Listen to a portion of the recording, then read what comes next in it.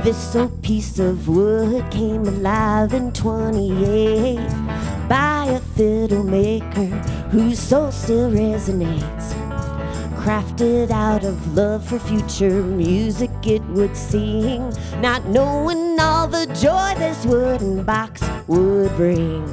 A star was stitched on his coat, though there was no sin. He had to give up his shop and his violins.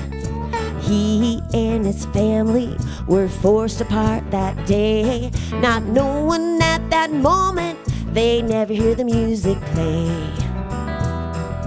Listen to the wooden lullaby as it sings. Here's to hoping one day this crazy old world will see. Life is like a vapor, too short to disagree. That we come from that same family tree.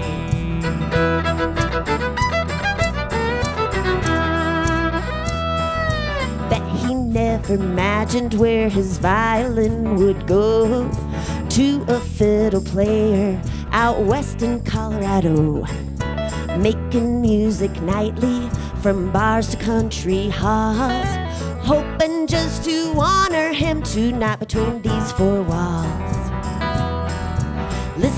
To the wooden lullaby as it sings. Here's to hoping one day this crazy old world will see. Life is like a vapor, too short to disagree that we all come from that same family tree.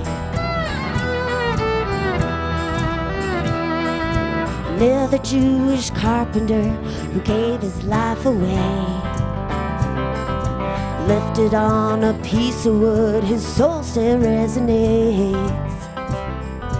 Living out that golden rule till his very last day, saying, Love one another, have the faith to pray.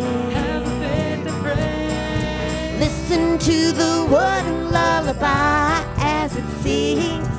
Here's to hoping one day this crazy old world will see. Life is like a vapor, too short to disagree. That we all come from that same family tree. Yeah, we all come from that same family tree.